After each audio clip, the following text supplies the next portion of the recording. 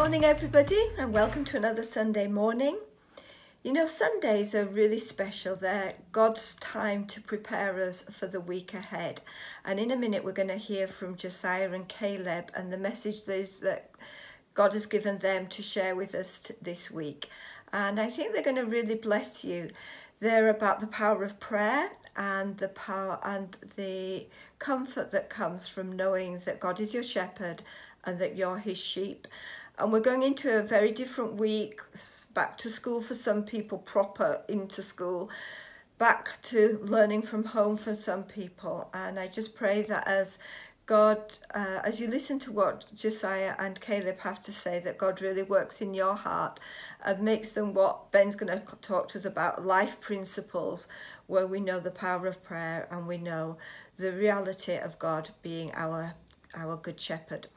So, see you later at Zoom, but for now, over to Josiah and Caleb. Thank you. Hi guys, it's Josiah here. Um, last week, Ruth and Ben asked me if I could read out my favourite verse. My favourite verse is Philippians 4 verse 6 to 7 in New Life Version. Do not worry, learn to pray about everything. Give thanks to God as you ask Him for what you need. The peace of God is much greater than a human mind can understand. This peace will keep your hearts and minds through Jesus Christ. It's my favourite verse because it says, Do not worry and learn to pray about everything. And it means I can just give all my worries to God and He will sort them out for me. Bye. Thanks for watching. Thank you, Josiah. That was amazing. I, I love it. Uh, you know, it's one of my favorite life principles. Um, I mean, young kids talking about this kind of stuff, I mean, it's great. Uh, it took me ages to understand that. So, uh, so uh, yeah, the, the life principle is that uh, um, prayer connects you with the power of God. And that's great, that's fantastic. So how it works, Let, us see how, how this thing is going on. So, uh, you have a problem, okay? So, problem coming up.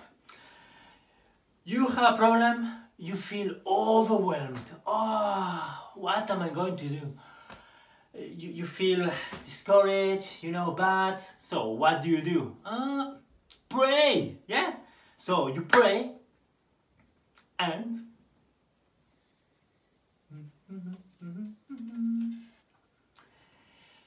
you, you, your problem goes to Father God. So now it's it's his problem, yeah? It goes to the to powers God with all his power there. And you know what? That is what uh, Josiah, Josiah's verse was about. Because when this happened, he gives you peace in your heart. And that's great. Uh, so, uh, let's move on. Let's go to Caleb now. So last time Caleb was talking about prayer and uh, you know what? I got very inspired about this. So this is why Caleb thank you very much. I got my prayer jar. Yeah. Okay. Ready to use that. Uh, so I can't wait to hear what Caleb is going to say now. So over to Pastor Caleb. Hello. Today I am going to be talking about Psalms 23, verse 1 and 2. Let me just read it to you. The Lord is my shepherd, I shall not be in want. He makes me lie down in green pastures, he leads me beside quiet waters. The person who wrote this is David, and he is describing himself as a sheep. And the and the, he's saying the shepherd is God, and the the shepherd cares for the sheep. So he's kept, he's describing that God, the ship, this God, he's caring for. Him. For example, it says, He leads me beside quiet waters. That means he's just trying, like, this is rough waters. You wouldn't want to drink from rough water. You probably get, like, hurt. And this is still water. That's what he said. Still water. Um, so you so you can have a good drink. And it says, and it says, he, he makes me lie down in green pastures.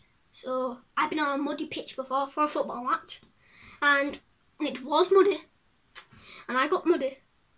Uh, and if a sheep went on there, there was no grass like grass to eat because they eat grass.